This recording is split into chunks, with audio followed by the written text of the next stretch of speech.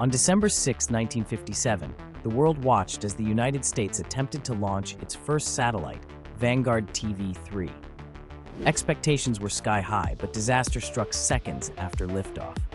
The rocket rose just four feet before losing thrust, collapsing in flames, and the satellite rolled away, intact but grounded. This failure was more than a technical setback. It was a national embarrassment, broadcast globally during the peak of the Cold War, just months after the Soviet Union's Sputnik success. The Vanguard TV-3 disaster shocked American policymakers and the public, exposing gaps in the U.S. space program.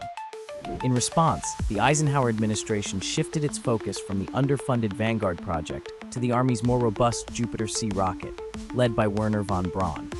Within months, this pivot led to the successful launch of Explorer 1, America's first satellite, in January 1958. This turning point directly influenced the creation of NASA and a new era of U.S. space exploration.